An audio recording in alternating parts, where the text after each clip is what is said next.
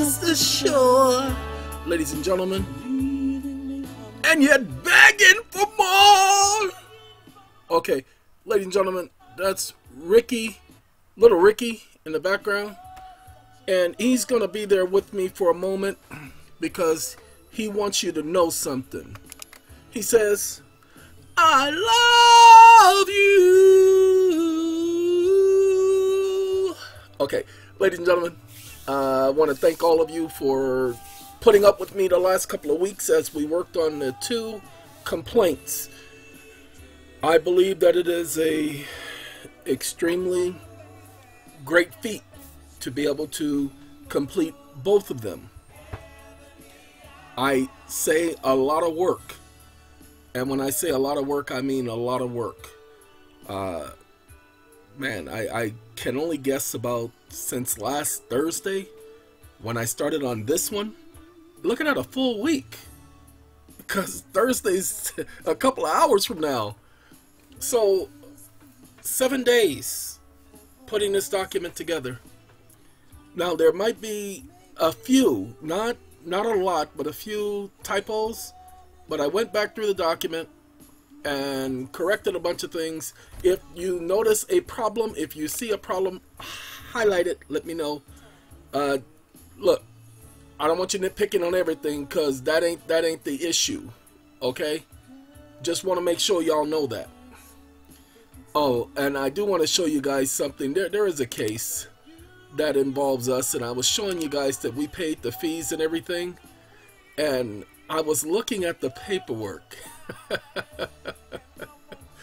because I know what case I paid for, and you see that's my name right there showing they received the receipt. Now you notice they put my name and this name on here.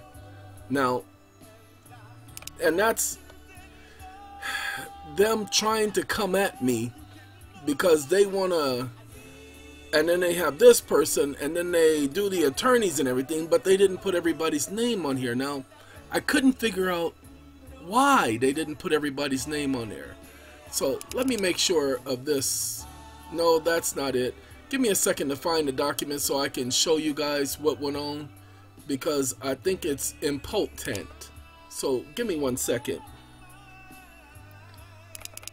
I need you.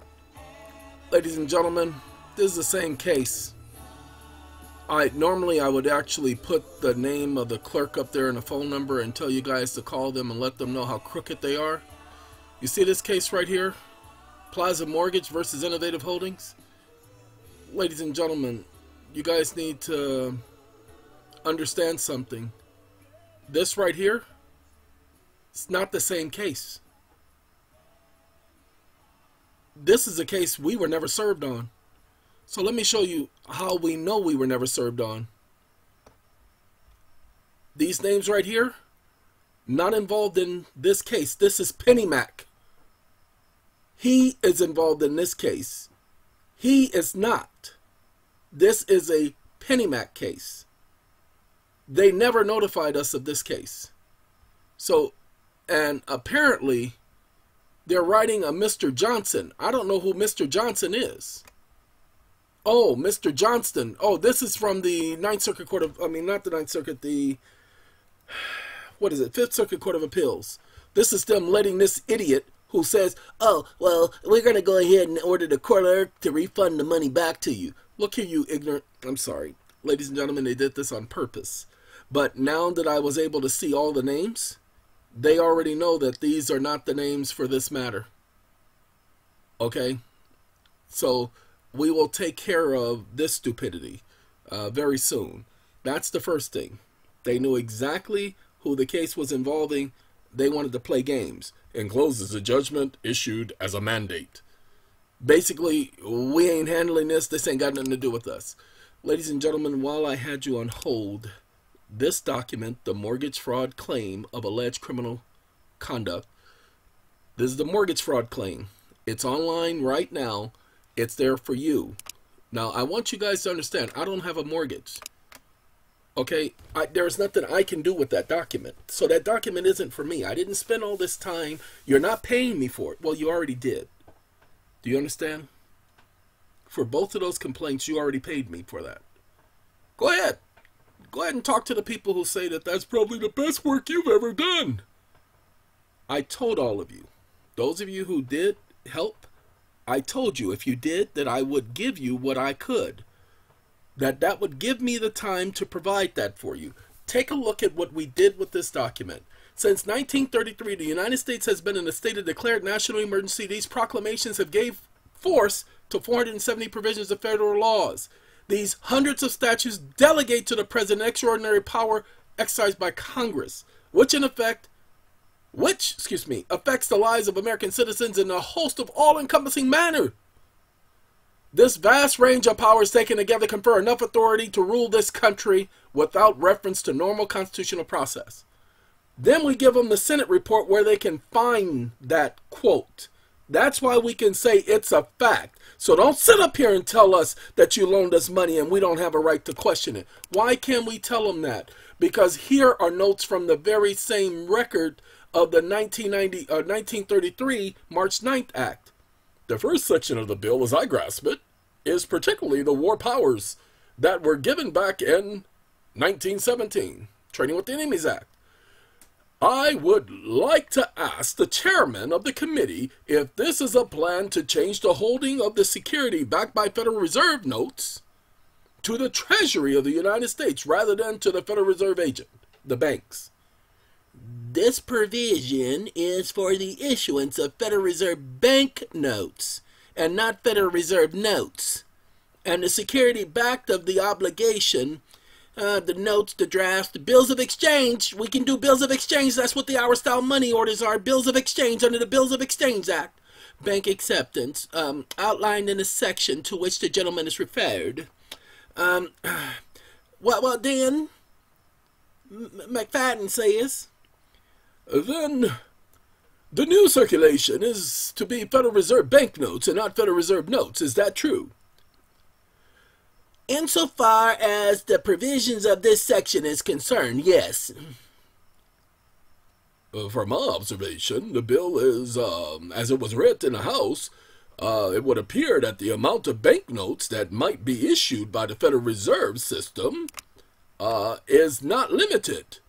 Uh, uh we could do stimulus checks for trillions of dollars. Uh, that would depend entirely upon the amount of collateral the amount of collateral, yeah, all the homes in the United States are owned, okay, that is present from time to time. Well, yes, I think that is correct. Okay. Then we have Congress documenting Congress did not provide a continuation of the emergency, or did provide for a continuation of the emergency and of any economic sanctions that were as a result of the presidential declaration of national emergency that were in effect on July 7th, 1977, subject to automatic termination unless they were renewed annually. However, this provision allowed for continuation of the national bankruptcy and the national banking holiday, as well as sanctions on the regimes of Cuba, North Korea, China, Vietnam, to continue without the president having to declare a new national emergency under the IEEPA. Donald Trump was definitely a fan of this Trading with the Enemy Act provision, the National Emergency Act. He issued a bunch of them at the end of his presidency.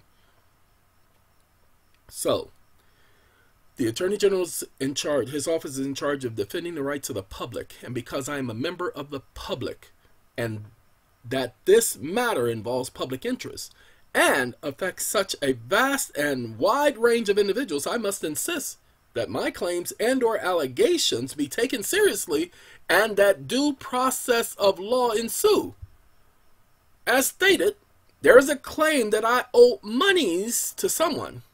And if that is the case, I am more than willing to pay whatever it is that I am supposed to pay. whatever it is that I receive. I'm willing to pay that junk back. If the bank did indeed loan lawful monies to my person, and they can verify the species of currency, since I have just discovered that the United States Treasury has documented that Federal Reserve notes have no value, which means the bank could not have loaned me Federal Reserve notes. And where can I gain access to the species of currency so as to repay the loan? I'll readily do so. You tell me what I can use to pay it back, and you tell me where I can gain access to it, man, I'll pay that back in a split second. There is no currency for you to pay back unless you use your um, sorry, you guys know about the fact that you have under the new law, the money will be issued to the bank in return for government obligations, your properties. The money will be worth 100 cents on a dollar because it is backed by the credit of the nation. You all are the credit of the nation. That it represents a mortgage on all the homes and all of the people of the nation. Go back, read it. It's House resolution. It's the record. It's the actual comments that they made during that session. That the money represents a mortgage on all of the home. Now, they're not talking, you need to understand, they're not talking about Federal Reserve notes. Federal Reserve notes, we just read that section. Federal Reserve notes was not what was ordered, it was Federal Reserve bank notes. So what money are they talking about? They're talking about the credit of the nation. Pay attention. Under the new law, the money is issued to the banks in return for government obligations. The money is worth 100 cents on the dollars because it is backed by the credit of the nation. The money is the credit, ladies and gentlemen. That's why it's worth 100 cents on the dollar. They created this new currency. It was credit. That's what we're doing. We are documenting this, that this is what the facts are. So don't sit up here and tell us that we are bringing forth a frivolous argument because these are the actual records. That's why we're listing them as facts. See, nobody can say that we're bringing in a valueless claim. I seek access not only to my security so that I can settle all debts associated with my account, my name, my person, my interests. This is the part I was talking about in the other video that I couldn't locate. I have attained the age of the majority, am neither a minor nor an infant, and incapable of handling my own affairs, as is evident by this complaint and articulation of my concerns. See, this ain't supposed to be. It's supposed to be and am capable. So I got to correct that. So if you're going to download this, you're going to have to wait until I correct that because that's one of those typos. Can't have incapable. We got to have capable. So I'll be putting this up and then I'll be reloading this up in just a second. So I'll see you guys in a second. Thank you guys for visiting. Thank you guys for paying attention. But I do have to correct this. And when I correct this, you all need to understand something there are going to be some typos because I went over the document, but because you're letting speech recognition read it back, I tried to read over it. I'm just too tired to read over it. Okay? It, it, hey, hey, I caught it now, but because of how tired I is, and I's tired, and you see that keeps happening, and I'll fix that. That's because every time I'm connected online, they know that I'm doing this, and they do stupid things like that. It took me an hour, people, to get that working. That's the games they play. No, it, it's not no coincidence because nothing else is running. Take a look at my system. Nothing else is running in the background. Nothing. So there's not no reason for that to shut down. This is I'm running bare systems right now because I'm using the phablet to watch things on and all that stuff.